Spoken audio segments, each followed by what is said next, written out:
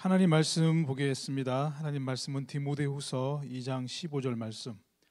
아, 디모데후서 2장 15절 말씀 보겠습니다. 우리 한 목소리로 어, 합독하시겠습니다. 너는 진리의 말씀을 옳게 분별하며 부끄러울 것이 없는 일꾼으로 인정된, 인정된 자로 자신을 하나님 앞에 드리기를 힘쓰라. 아멘.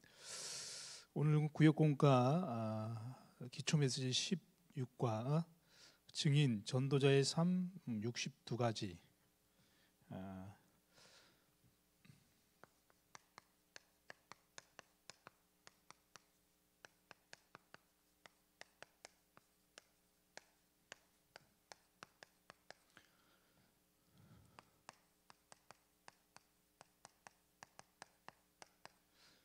아, 아, 62가지는 다 할 수 없고요. 또 이게 워낙 내용이 많고 어, 이야기가 참 음, 아, 그런 것 같습니다. 그래서 이 62가지 중에 한 세 가지 정도 어, 그러니까 에,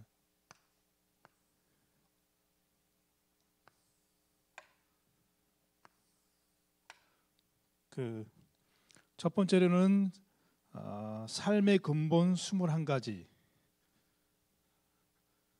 우리 삶의 근본 21가지. 어, 어떤 면에서 신앙 고백이죠. 신앙 고백. 아, 이게 참된 행복인데요. 이 부분 아, 참된 축복.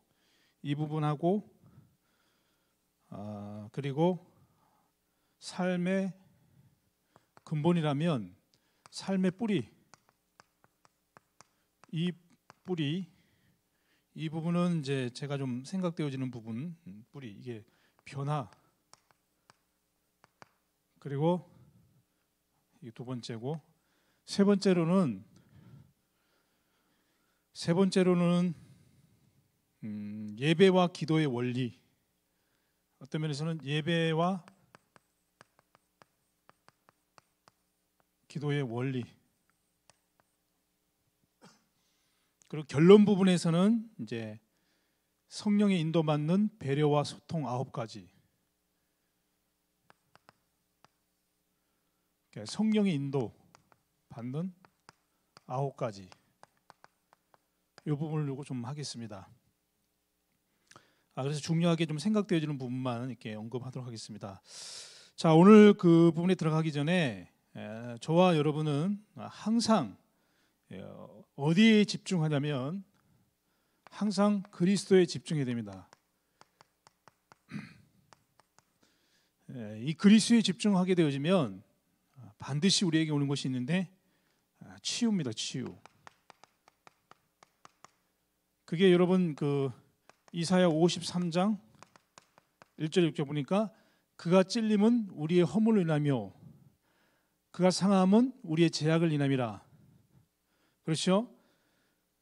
그리고 그가 징계를 맞음으로 우리가 평화를 누리고 그가 상함으로 우리의 우리가 제약을 사함 받고 채찍에 맞음으로 나음을 붙도다. 우리 무리의 제약을 그에게 담당시키셨도다 이거든요.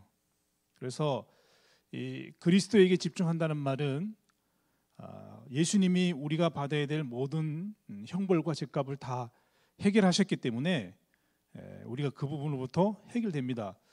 그럼 이사야 61장 1절에 3절에 보면 복음을 누리면 누릴수록 우리가 갇혔던 부분에서 노임을 눌린 곳에서 자유를 포로된 것에서 자유케 되어지는 다시 말하면 창세기 3장으로부터 어, 해방받는 축복을 누리게 되어 있습니다.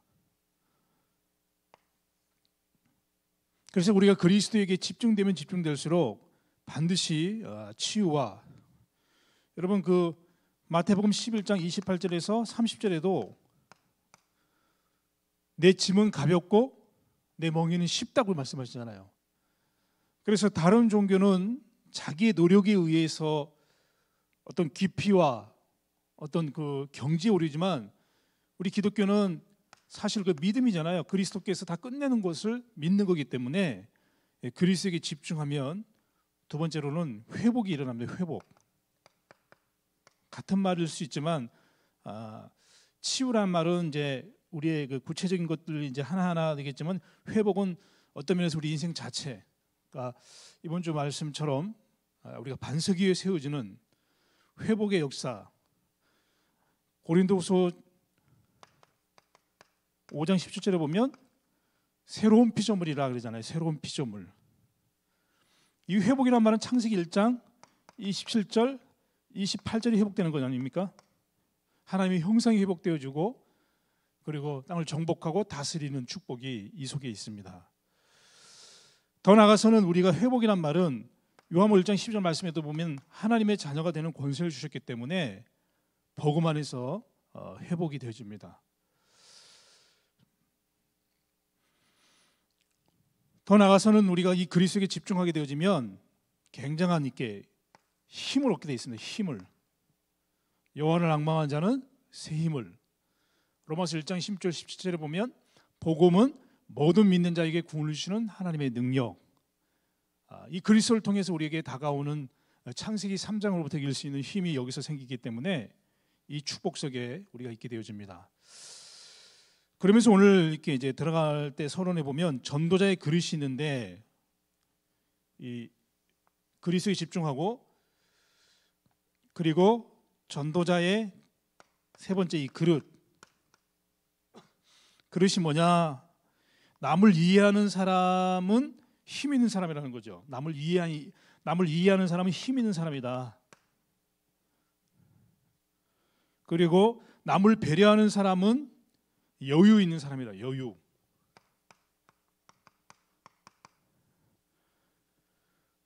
또 남을 섬기는 사람은 미래를 아는 사람이다.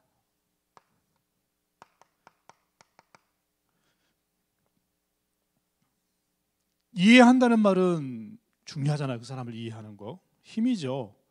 배려하는 것은 여유가 있는 거죠, 우리가. 그리고 그 사람을 중요하게 아, 섬기는 사람은 섬긴다는 말은 장점을 보는 사람은 미래를 아는 사람이라는 거죠. 이게 전도자의 굉장히 중요한 부분이고 자 그러면 이제 이 전도자의 이 20, 62가지 중에 삶의 근본 문제 세 가지가 제일 중요합니다. 이게 굉장히 중요하죠. 아, 21가지. 그 중에서도 가장 중요한 것이 뭡니까? 그 중에 가장 중요한 것이 시작인 것이 우리가 늘 고백을 하지만 이게 중요합니다. 우리의 시작이 결국 갈보리산 그리고 감남산 그리고 마가다락방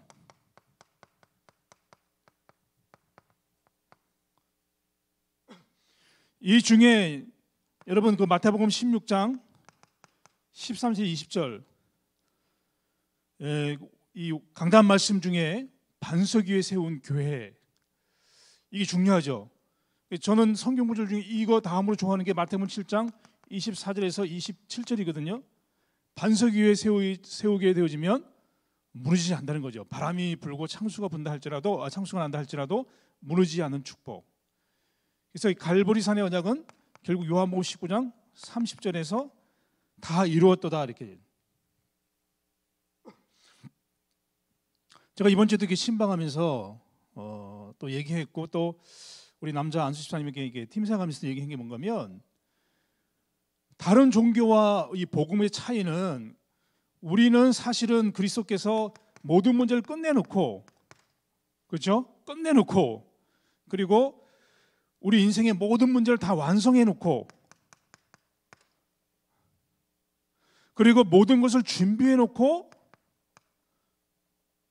처음부터 부르셨다는 거죠. 처음부터. 그럼 신앙생활은 뭐냐? 그리스도께서 완전한 우리 인생의 문제를 해결했고 부르시고 부르신 우리에게 신앙생활을 통해서 이게 찾아 누리는 것이 내지는 발견하는 것이 신앙생활이다.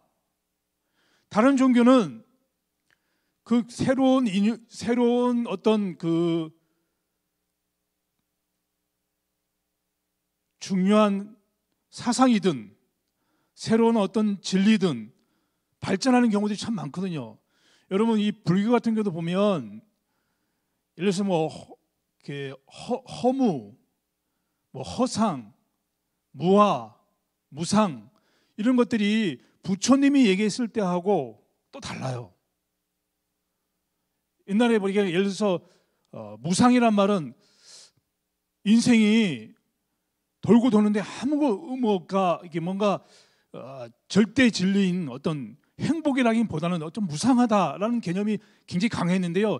지금 불교에서는 그 무상이 우리가 말한 것처럼 아, 허무하다 그런 개념이 아니에요. 그리고 무화 같은 경우도 나라는 존재는 없다. 그래서 우리는 어떤 분에서 뭐 염세주의에 빠질 수 있고 허무주의에 빠질 수 있는데 지금의 불교는 이 무아라는 말은 우리 저 갈라디 2장 20절처럼 어떤 진리가 있기 때문에 나라는 존재를 없애버려도 된다라는 개념으로 많이 가거든요. 근데 여러분 다른 종교는 뭔가 진리에 대해서 자꾸 발전하고 변하는 부분들이 미완성이라는 부분이 있는데 우리에게 주신 이 복음은 아, 그리스도는 하나님 만나는 길 요한복음 14장 6절 그리고 그리스도는 우리의 원죄 문제를 해결하신 제사장, 죄와 사망의 법에서를 해방했다. 그 이 그리스도를 통해서 우리가 하나님을 만난다. 그리고 하나님 지난주에 말씀드렸던 것처럼 영적 사실을 알고 영적 싸움을 싸우게 되어지면 이미 사단의 권세는 끝났다. 이거는 절대 진리거든요. 절대 진리. 이것도 예수님이 오셨을 때에 다 이루지 못했기 때문에 지금 또 다시 뭔가 이루어야 된다. 그것이 아니라 이미 2000년 전에 오셔서 이 문제를 다 해결하신 것을 믿는 거거든요. 우리는. 그래서 우리가 이 삶의 근본 근본 문제 21가지 중에 갈 갈보리산, 감남산, 마가드락방의 중요한 게 뭐냐면 이게 정도가 다르잖아. 정도. 정도의 차이가 있다는 거 차이가. 그리고 이것에 대한 깊이가 달라요. 왜냐하면 우리가 주는 그리스도시여 살아계신 하나님의 아들이십니다. 그리스도는 내 인생의 모든 문제를 십자가에서 다 해결했고 우리 인생의 모든 문제를 십자가에서 다 해결했습니다라고 정말 믿는다면 우리에게 다가오는 홍수라든가 우리에게 다가오는 이 풍랑이라든가 바람은 바람으로 인해서 우리가 흔들릴 수 있지만 무너지지 않다 그랬잖아요. 그래서 반석이라 음부의 권세 이지 못하리라 천국 열쇠를 이거 주리라고 얘기하잖아요. 그 말은 이 정도와 깊이에 따라서 복음을 이해하고 그리스도를 이해하는 것에 따라서 다가오는 문제를 이길 수도 있고 무너질 수도 있다는 거예요. 그래서 중요합니다. 신앙 고백의 깊이가. 그래서 요즘 여러분도 신앙생활 하면서 느끼는 게 있잖아요. 뭐 20년 전에 우리에게 왔을 때 그리스도를 알았던 거나 지금이나 우리가 깊이라든가 어떤 그 어떤 그 진리에 대한 어떤 우리가 깨달음은 있다 할지라도 그리스도 자체에 대해서는 변함이 없잖아요. 중요하죠. 그래서 이 갈보리 사람의 이 그리스도를 체험이 중요합니다. 체험이. 체험이란 말은 요한일서 말하는 것처럼 보고 느끼고 깨닫는 걸 말합니다. 신비주의를 말하는 것이 아니라 실제 이 그리스도께서 역사하는 것을 체험해야 되는 거예요. 갈보리 사람을 다 끝냈구나. 그래서 예수님이 이번 주에 보면 갈릴리에 오셔서 너희가 나를 사랑하느냐? 다른 거 책망하지 아니하시고 사랑하느냐? 내 어린 양을 먹이라. 다시 한번 회복의 은혜를 주셨잖아요. 회복의 은혜를. 여러분 지금 지역 식구들이 어떤 문제 가운데 있다 할지라도 예수님이 다시 갈릴리의 제자들에게 3년 동안 살을 해가지고 이 그리스도에 대해서 하나님 나라에서 가르쳤는데 다 포기하고 전도와 선교와 제자 응답을 팽개치고 갔던 제자들에게 찾아오셔서 너희가 나를 사랑하느냐 이 말 속에는 너의 연약함을 내가 안다는 거거든요. 다시 회복해서 내 어린 양을 먹이라고 말씀하시는 거예요. 자, 우리가 이 그러니까 이 전도제 3 62가지 중에 가장 중요한 것은 삶의 근본이 중요한 거예요, 신앙이. 갈보리산의 이 십자가만 정말로 이 정도와 깊이가 다르다는 거죠. 이게 차이입니다. 쉽게 얘기하면 여러분 높은 건물일수록 기초를 단단해 가지고 밑에 깊이 팔수록 흔들리지 않잖아요. 깊이 기둥을 세우면 마찬가지로 우리 인생에 어떤 문제가 와도 예수님이 그리스도이시고 내 인생의 모든 문제 해결하셨고 그분이 구원자시고 그분이 내 안에 계시고 내가 그 그리스도를 고백한다면 되는 거거든요. 전에 그 아, 십몇 년 전인가요? 그 불교에서 또 이렇게 굉장히 사회적으로 이슈된 게 있었는데 십몇 년일 거예요. 20년 전, 십몇 년인지 모르겠는데 서울대 그 불교 동아리에서 서울대생들이 10명인가 한 해는 아니지만 2, 3년 사이로 10명이 그 쉽게 얘기하면 스님이 된 거예요. 그래가지고 막 굉장히 화두가 됐는데 이제 그 10년 전에 20년 전에 했던 스님들이 지금 많이 불교 쪽에서 굉장히 이렇게 좀 음, 많은 활동을 하고 있는데 그 중에 한 스님이 이제 간증을 어디 들었는데 뭐냐면 자기가 대학원 이제 서울대 나와서 서울 대학원 공부를 하고 있는데 죽음의 위기가 있었다는데 내가 봤을 때는 어떤 이렇게 영적인 문제 같아요. 뭐 우울증이든 공황장애든 뭔가 죽음이 딱 맞달려 들었는데 그때 자기가 공부했던 자기가 가지고 있었던 그 사상이나 이념이나 그 지식이 그 죽음의 두려움을 죽음의 문제를 이길 수 없다는 것에 되게 두려웠다는 거예요. 아, 내게는 이 지금 갖고 있는 학문으로서는 이 죽음의 위기를 죽음의 문제, 절망의 문제를 해결할 수 없구나라고 깨달으면서 불교로 입문했다는 거예요. 다른 말로 말하면 우리가 이 그리스도의 삶의 근본 문제, 근본 세 가지 갈보리산, 막 감남산, 마가다락방의 체험이 확실하고 정도와 깊이가 분명하면 우리에게 어떤 문제가 와도 사실은 답이 되잖아요. 근데 제가 몇 년 전에 이런 절망이 오니까요. 저도 흔들리더라니까. 영생의 길도 안 보이고 사망에서 생명으로 옮겼다는 것도 안 보이고 그리스도도 안 보이라는 거예요.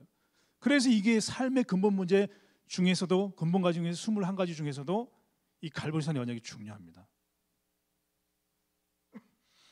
갈보리산의 십자가에서 내 모든 저주를 처음부터 끝냈다는 거예요. 처음부터. 수고하고 무거운 짐자들아 다 내게로 내가 너희를 쉬게 하리라. 처음부터 너 고행을 많이 하고 오면 끝낸 것을 알게 할 거다. 아니에요. 처음부터 부른 거예요. 영접하는 자, 곧 그 이름을 믿는 자들에게는 하나님의 자녀가 되는 권세를 주셨다는 거예요. 처음부터. 그리고 예수님이 끝을 내시고 완성을 하시고 준비하시고 우리를 처음부터 부르셨다는 거예요. 그래서 신앙생활은 이것을 누리고 체험하고 발견하는 것이 신앙생활이에요.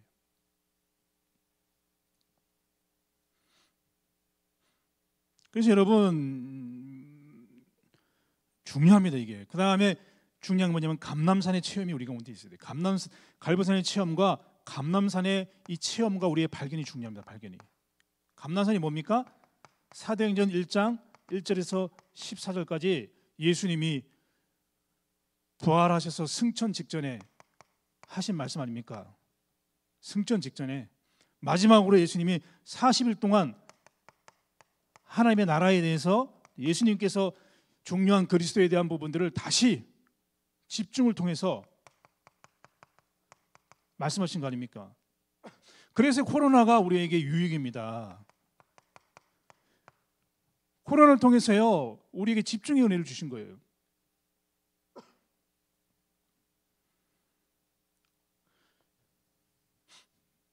어제 그 우리 어, 그 제가 우리 안수 집사님 이렇게 이제 신방을 하면서 말씀을 나누는데 식당 하시는 분인데 어, 요즘 뭐 이렇게 다른 책들을 쭉 읽으면서 한번 구체적으로 얘기는 못 하겠고 아, 그 책이 시중에 나온 게 별로 아니라면서 얼마나 그 부분에 잘하는지 모르겠지만 어, 그 부분 그 책을 읽으면서 이제 자기 본인이 책을 좀 이렇게 쓰려고 생각하고 있다 그러더라고요. 그래서 내가 그리스도에 대해서 얼마큼 집중했냐 이렇게 얘기를 했거든요. 이 코로나는 우리가 이 감남산의 체험, 다른 말하면 그리스도 하나님 나라 성령 충만, 더 나가서는 사도행전 1장 8절이잖아요. 증인 되도록 오직 성령이 너희에게 임하시면 너희가 권능 받고 땅 끝까지 이르러 복음의 증인 되도록 이 증인 이것을 체험하도록 다시 말하면 즉 성령 충만을 성령 충만을 체험할 수 있는 기회를 주신 것입니다. 그래서 우리는 감남산 체험은 우리가 그렇게 살지 않는 그렇게 삶이 안 따라간다 할지라도 우리는 정확합니다. 복음에 뭐하기 위해서 증인되는 겁니다. 복음을 전하든 아니면 우리가 어떤 방법이든 간에 우리 삶의 방향은 목적은 분명해요. 그래서 제가 어느 이렇게 가끔 이렇게 지역 보면 아무리 나이가 많아도 좀 깊이 있게 들어갔으면 좋겠어요. 내가 다 말씀 못하겠고 증인이거든요. 이번 주 우리 강단 말씀 중에 그 어느 학자가 얘기했던 것처럼 허비한 삶이라는 게 뭡니까? 여러분 최선을 다해서 살지 않았다는 게 아니에요. 어떤 면에서는 저는 이렇게 뭐 장로님들이든 안수 집사님들이든 집사님들 보면 되게 존경스러운 분들이 많아요. 저는 아는 게 없거든요. 들은 게 없어요. 공부한 게 별로 없어요. 저는 뭐 신학 외에는. 근데 우리 집사님들 보면 한 직장에서 아니면 한 그 전문 분야에서 열심히 일을 하셔가지고 또 최선을 다해 삶을 살아서 명퇴하시고 그 좋거든요. 정말 얼마나 좋습니까? 그런데 중요한 것은 뭔가 하면 그분의 전생을 봤을 때 그분이 전도자의 삶을 살았냐 이것은 얼마만큼 열매를 맺었냐가 아니라 중요한 우리의 생각이 사상이거든요. 그가 아니면 사실은 뭐 구원을 받고 천국 가지만 사도행전적인 삶은 아니에요. 증인의 삶은 아니라는 거죠. 증인의 삶이. 그럼 아내 되시는 분도 이 부분에 대해서 분명하게 얘기해야 될 거 아니에요. 그죠? 직간접적으로 분명하게 얘기해야 될 거 아니에요. 아, 제가 이제 그한몇년 뭐 전부터는 기도를 안 했는데요. 저희 집 사람 산 지가 벌써 한 음, 27년 됐나요? 5년 전까지는 한 20몇 년은 항상 이렇게 음, 잠자리 들기 전에 이렇게 기도한 적이 있어요. 항상 기도했어요. 한 적이 있는 게 아니라 항상 기도했어요. 그게 뭔가면 하나님 여기 이금희 사모가 복음 때문에 만났는데 그것도 더군다나 사모인데 지금까지는 아이들 키우냐고 네명 아이들 키우냐고 또 아이들 지금 많이 컸지만 이제 뭐 청년이 되고 이제 직장 다니고 있지만 이 아이들 어렸을 때 뭐 학원비부터 전체를 그랬잖아요. 그러니까 계속 뭐 일 다니고 뭐 다니고 뭐 많이 다녔어요 일들을. 심지어 뭐 하여간 여러분 뭐 정식 하여간 일을 많이 다녔어요. 그러면 자기 전에 항상 사모고 목사 사모고 더군다나 사모고 복음 때문에 만났는데 그 인생이 전도자의 삶을 살고 목회를 하든 전도를 위해서 살아야 되는데 하나님 나라를 살아야 되는데 지금까지 애 키우냐고 살았습니다. 물론 저에게도 굉장한 배경이 되어줬고 그러면서 제가 늘 기도했던 게 뭐냐면 이금희 사모가 하나님 복음을 위해서 살고 전도를 위해서 살아갈 수 있도록 그리고 연약한 자를 돕고 전도 운동할 수 있도록 하나님 그 삶을 축복해 달라고 요즘은 안 하는데 기도를 참 많이 했어요. 이 감남산의 체험이 있어야 돼요. 이게 뭐냐? 감남산의 체험 여러분 그, 그 저는 코로나도 그렇고 작년을 통해 가지고 이 감남산의 체험이란 말이 뭐냐면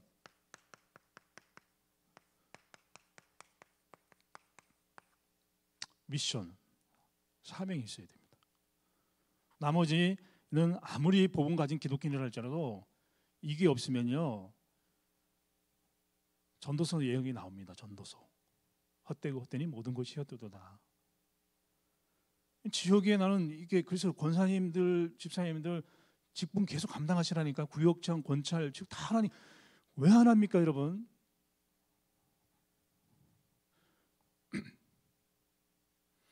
뭐 모르겠어요. 저는 나중에는 바뀔지 모르겠지만 지금 현재로는 애들이 시집가고 장가가고 애 낳고 뭐 애들이 승진하고 물론 데리고 오고 뭐애 키우고 그것도 물론 필요합니다. 근데 그게 우리 인생의 전부는 아니잖아요. 우리는 뭐 해야 됩니까? 갈보리산의 여정을 누리셔야 됩니다. 그리고 감난선 237 나라 교회는 영적 플랫폼이고 237 플랫폼이다. 이 세계보고마 직간접적으로 일을 해야 된다니까. 이 이게 우리의 행복이라니까요. 이게 우리의 모든 삶의 방향이라니까 미션이잖아요. 바울은 이것 때문에 생명을 조금 더 귀한 것을 여기지 않다 그러잖아요. 뭐 때문에 우리가 어, 그렇게 그러니까 내가 얘기하는 것은 필요 없다는 말이 아닙니다. 어느 것이 중요하고 어느 것이 덜 중요하고 어느 것이 가장 우선순위 돼야 되는 그 부분을 얘기하는 거거든요. 그래서 20 62가지 중에 여러 가지가 많지만 가장 중요한 것은 갈보리 감남산 마가다락방입니다. 이거에 따라 방법이 나오고 이거에 따라 힘이 나오는 거지. 이거 빼놓고서는 아무 소용 없어요, 여러분. 이게 아, 중요하다. 갈, 여러분 그래서 감남산의 언약을 날마다 체험하셔야 돼요. 코로나를 통해 가지고 우리에게 주는 하나님의 교훈은 갈보리산 체험하라는 거예요. 정사님 어제도 그러더라고요. 지역에 돌아보니까 담임 목사님 저서 이제 책 가지고 염려 그 저서 가지고 이제 찾아가서 이렇게 팀 사역도 하고 이제 어, 하는데 왜 이렇게 아픈 사람들이 많은지 그, 그 선생님 얘기하셔요. 내가 육신적으로 아픈 거냐? 여러분 다 복합적인 거라. 이때 여러분 영적 리듬 가지고 살려야 되는 거죠. 영적인 거 살아나면 육신적인 것도 살아나고 운동도 하면서 메시지, 메시지, 메시지를 준비하면서 기회라는 잖아요 기회. 오히려 그 메시지 주요 메시지 중에 오히려 불신자들이 두려워하고 드러나, 두려워하고 염려하고 드러나는 것들은 우리가 복음 전할 수 있는 기회라는 거잖아요.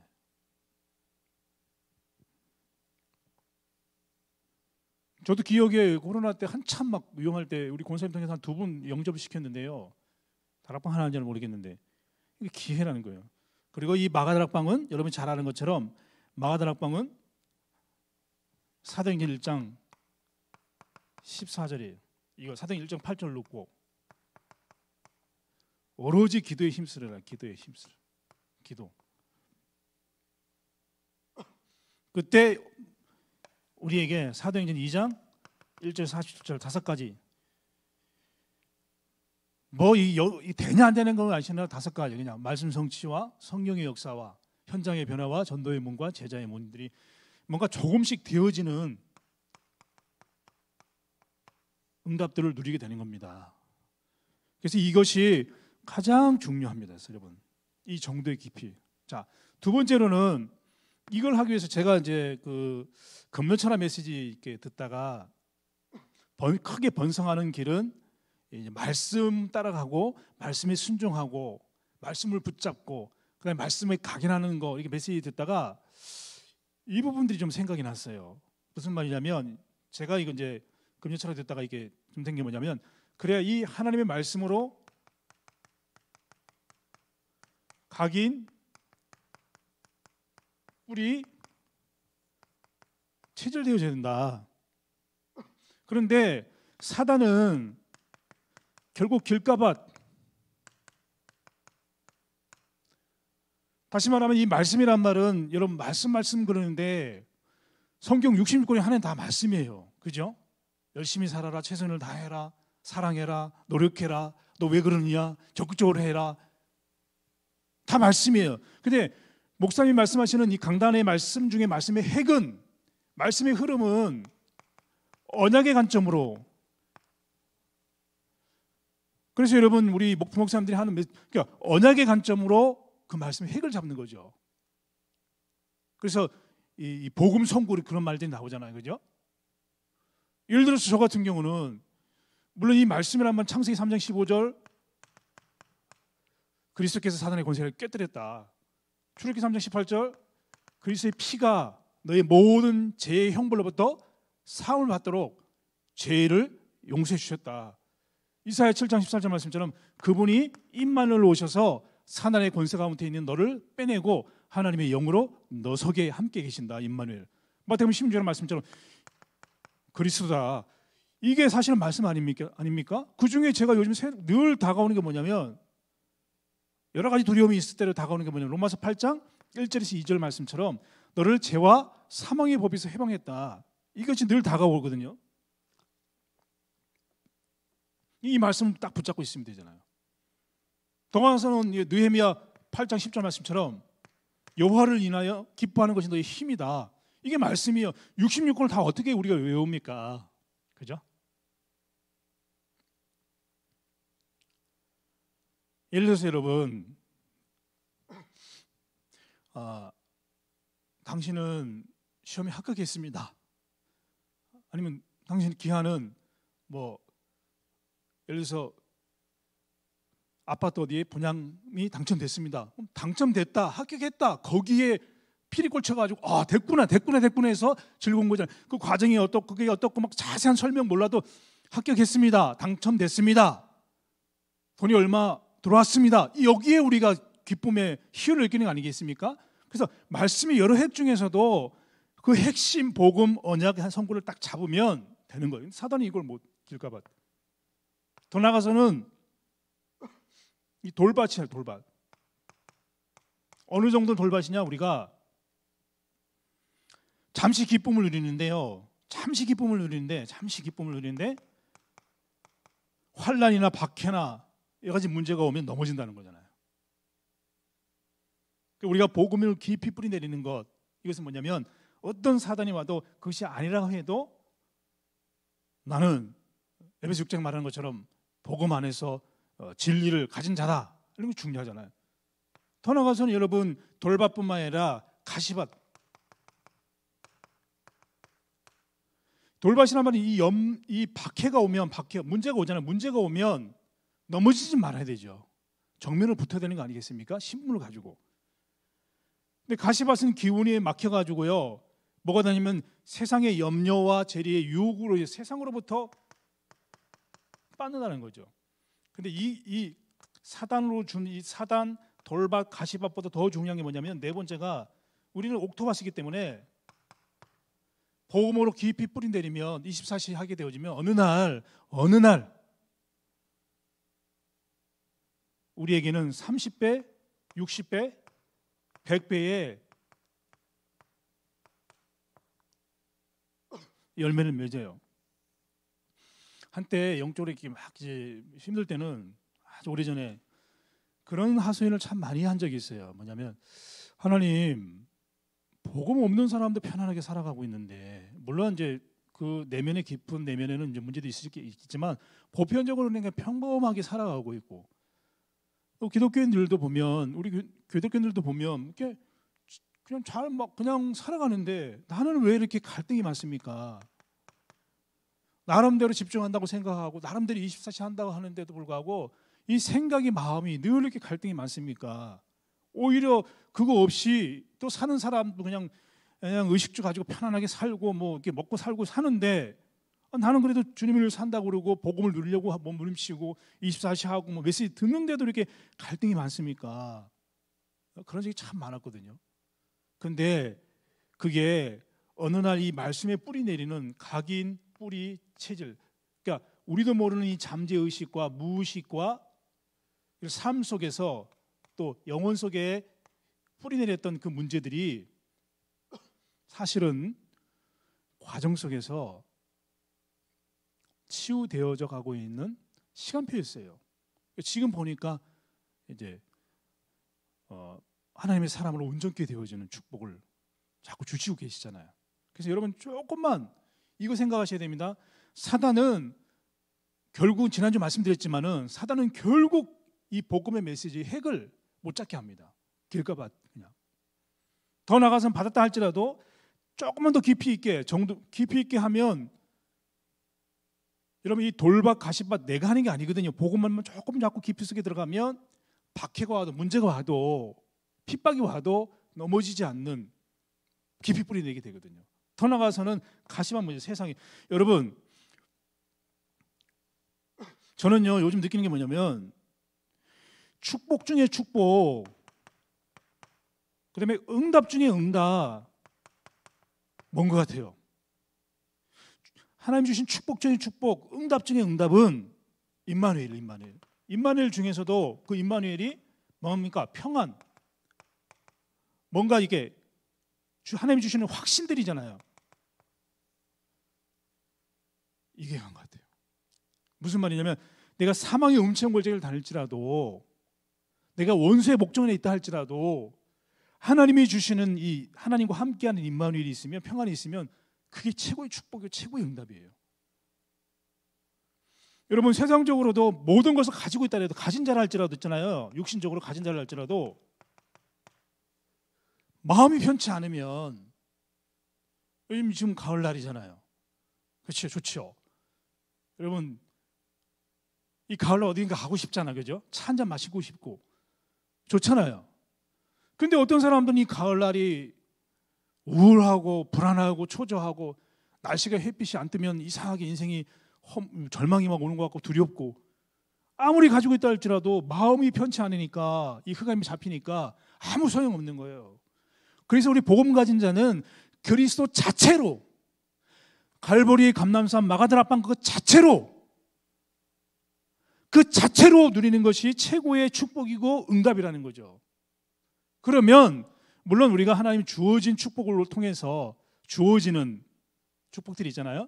그걸 덤으로 해서 우리가 이제 평안을 누릴 수 있는 것도 마찬가지죠. 물론 하나님 이런 응답도 주시고 자녀에게 남편에게 우리가 또 좋은 뭐 집도 사고 차도 사고 뭐 여러 가지 또 자녀가 뭐 취직도 하게 되어지고 결혼도 하게 되어지고 그런 부분에서 오는 그런 행복도 당연히 맞아요. 근데 설령 그것이 아니랄지라도 지금 당장 이런 문제 저런 문제 터진다 할지라도 우리가 이 감남산 갈보리산 마가드락방과 기도 속에서 누리는 참된 평안을 누리게 되어지면 그것이 최고의 축복이라는 거예요.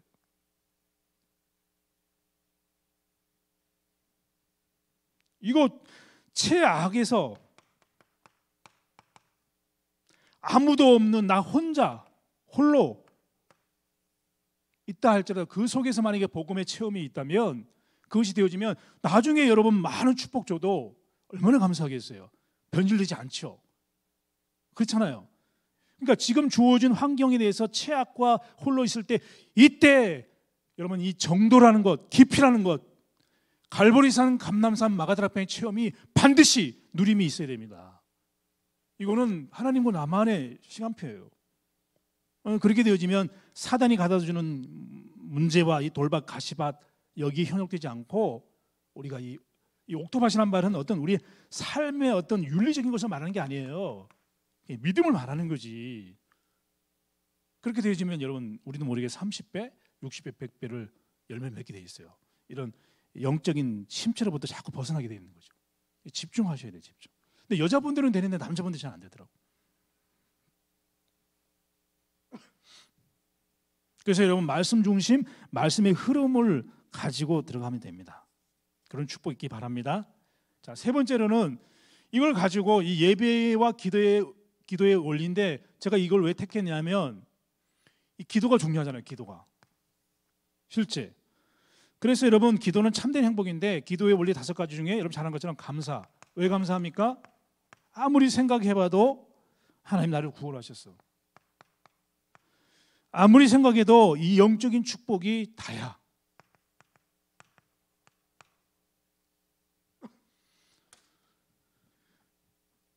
그 어제 우리 그, 그 어느 지역의 집사님 이제 뭐한 그 40대 된 집사님인데 여자 집사님인데 그 아버님이 기존교회 목사님이셨어요. 근데 여동생이 이제 36인가요? 어, 기존교회 이제 신앙생활 했는데 어, 결혼하고 이제 내가 알기로는 자녀가 둘인가? 아, 아주 아주 어린 자녀가. 근데 암으로 이제 어제 소천했다고 그 메시지도 보내주기도 하고 이제 그 여동생이 암으로 투병할 때 우리 강단 메시지 듣고 담임 목사님 메시지 듣고 계속 이제 힘을 얻고 그러다가 소천했다면서 이제 문자 한 거 보니까 이제 그리스 이름 부르고 복음 선구 외치고 이렇게 그러면 이제 소천했다고 이제 왔더라고 해서 마음이 참 짠 마음이 그래요. 그래서 이제 위로를 했는데 여러분 우리에게 주신 이 구원의 축복과 이 시간이라는 거 감사해야 돼요. 그래서 우리는 정말 시간 날 때마다 24시의 축복 속에 자꾸 들어가야 돼요. 24시의 축복 속에. 괜찮아요. 넘어져도. 체질이 바꾸고 있으니까. 그래서 상처를 뭐로 바꾸나? 하나님 함께 하니까 감사로 바뀔 수밖에 없어요. 이거는 시간표가 되면 바뀌어요. 근본을 누리게 되어지면. 그리고 말씀의 흐름 놓치지 말아라. 말씀의 흐름. 뭐 저 같은 경우는 이제 월요일 오전에 다 메시지 듣거든요. 말씀의 흐름 놓치지 말아라. 묵상, 암송, 녹취. 묵상하고. 그 저는 아침에 딱 뜨면 아침에 이렇게 묵상할 때 주일 강단, 그다음에 금요 철학 강단, 그리고 본부 1부, 2부. 근데 본부는 자꾸 가끔 생각날 때가 있는데 그 보면서 1부, 2부 이렇게 묵상을 할 때가 있거든요. 묵상을 하거든요. 이게 묵상하고 그 본부 일부 같은 경우 이번에 보면 그 뭡니까 성소 성막 중심으로 그 부분에 이제 이렇게 메시지를 이렇게 묵상하게 되어주고 성막 성소 성막 중심으로 한 말은 결국 그리스도 중심 아니겠습니까? 예배 중심 뭐 이렇게 예배 중심으로 그 하는 부분들이죠. 그래서 이 말씀의 흐름은 나의 영적 상태를 회복하는 거거든요. 이 부분에 대해서는 할 말이 참 많아요. 그래서 저는 다음에 기회 되면은 이 집중 훈련 같은 건 난 어떻게 보면 할 수 있는 부분들이 많아요. 시스템으로. 자, 그리고 하나님을 향한 뭐가 한다고요? 집중. 이 집중은 두 가지입니다. 하나는 말씀 듣는 집중과 기도하는 집중을 하면 돼요. 하나님을 향한 집중, 나의 영적 시스템이죠. 그렇게 되어지면 반드시 뭐가 됩니까? 치유가 일어납니다. 자꾸 해보시라니까 안 되더라도 해보시라고. 현장에서 누리는 답과 나의 영적인 시간표. 그렇게 되어지면요 미래 다시 말하면 치유란 말은 이 집중이란 말은 하나님 주신 이 복음에 대한 확신들이 생깁니다. 확신이. 그리고 치유란 말은 결국 지금 내 생각과 앞으로 되어질 일과 오늘에 대한 올바른 생각과 하나님께서 어떤 인도하시는 것들이 보이게 되거든요. 미래는 말씀과 삶의 일치 그 속에 들어갈 수 있는 하나님과 나 현장과 원네스가 되어지는 축복들이 있습니다. 이 기대의 원리 뭐 각 기도를 보여줄 수는 없잖아요. 그 속에 이제 얼마만큼 이 응답을 누리냐가 중요합니다. 아 여러분 우리에게 60도가지 여러 가지가 있겠지만 그 중에 가장 중요한 게 뭐라고요? 근본. 그래서 이렇게 되어지면 갈천당 다시 말하면 천명 소명 사명 당연히 나오죠. 천명 소명 사명 나오겠죠. 당연 필연 절대성 나오겠죠. 그리고 일심 전심 지성 나오겠죠. 오직 유일성 재창조 24 25 영원 각인 뿌리 체질 이건 당연히 나오게 돼 있습니다. 자 마지막으로 우리에게 주신 이 부분 중에 저는 이 그렇게 되어지면 이 기도 속에서 이 축복을 누리면서 실제 우리 삶에서는 성령의 인도는 이게 중요합니다. 정보 다시 말하면 넓이, 높이, 깊이. 그러니까 쉽게 얘기하면 세상적으로 볼 때도 우리가 넓이, 깊이, 높이가 중요하잖아요. 다른 말로 말하면 저 같은 경우는 정보라는 부분은 이 정치 같은 경우도 저 혼자 객관적인 생각을 가지면 안 되잖아요. 합리적인 것들을 가져야 되니까. 그리고 인간관계는 인간관계.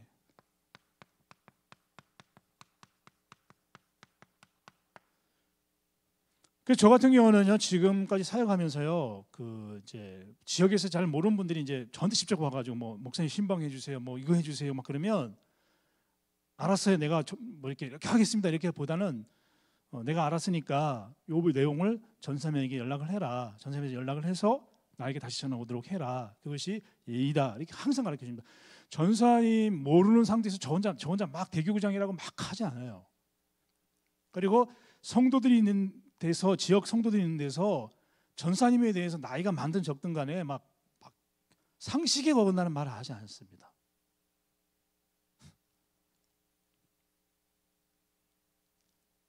이게 중요하거든요. 막, 막, 막, 막. 아시잖아요. 상하, 좌우, 옆. 상하, 좌우, 옆. 중요합니다. 그 다음에 시간표, 과거, 현재, 미래 속에서 시간표, 우리 시간표가 있어요. 이게 어떤 면에서 성령 인도받는 부분에 중요한 통로가 될 수 있어요. 정보, 상하, 깊이, 넓이, 높이 이런 부분이 중요하고요. 인간관계에서 상하, 좌우 그래야지 내 마음대로 할 수 있는 건 아니잖아요. 이런 뭐 시간표도 또 중요한 부분도 있고. 그러니까 막 예를 들어서 중요한 거 결정할 때는 윗사람을 통해서 또 이렇게 아 그게 하나님의 뜻이구나 이렇게 결정도 할 수 있는 거잖아요. 이게 중요합니다. 여러분 이제 그 사역이 코로나 이제 1단계로 그 조양 이제 하향 조정 이 됐잖아요. 물론 이제 어, 우리가 이제 앞으로도 사역을 더 힘있게 해야 됩니다. 그러기 이전에 여러분 전도제 삶 중에 올바르게 이 성경 구절 말씀처럼 진리의 말씀을 옳게 분별하면서 부끄러울 것이 없는 일꾼으로서 정말 하나님 앞에 드릴 수 있도록 삶의 근본인 이 복음의 깊이와 넓이와 높이를 체험할 수 있도록 그리고 여러분 이렇게 되어지면 지역에서 내가 무엇을 해야 되는지가 답이 나온다니까요. 답이 나와요. 저는 요즘 하나님 주신 나의 미션이 분명하거든요. 나옵니다. 그런 축복이 아, 저와 여러분이 있기를 예수 그리스도로 축원합니다. 기도하겠습니다. 하나님 특별히 우리 사랑하는 강서 이대교고 사랑하는 성도들과 우리 사역자 조장 또 일꾼들이 전도자의 삶 62가지 중에 특별히 가장 중요한 21가지 갈보리산, 감남산, 마가다락방 언약을 굳게 붙잡고 체험하고 누리고 또 응답으로 맞을 수 있도록 역사해 주시옵소서. 그래서 현장 살릴 수 있도록 도와주시옵시고 기도가 되어지는 감사와 말씀과 집중과 그리고 또 하나님을 향한 치유와 회복의 역사들이 일어날 수 있도록 도와주시고 성령의 인도를 잘 받을 수 있도록 하나님 역사에 주시되 무엇보다 우리가 하나님이 원하시는 그 현장 속에 있을 수 있도록 성령의 충만함을 주시되 특별히 사단은 하나님의 말씀이 복음을 우리에게 깊이 뿌리내지 못하도록 문제를 통해서 아버지 하나님의 그 하나님의 씨앗을 빼앗아 가는데 하나님 말씀의 씨앗을 빼앗아 가는데 거기에 빼앗기지 않도록 돌밭 가시밭 우리에게 염려 불신앙과 그리고 문제가 온다 할지라도 옥토밭이 되어져서 복음에 깊이 뿌리내므로 말미암아 참된 열매를 맺을 수 있도록 역사해 주시옵소서.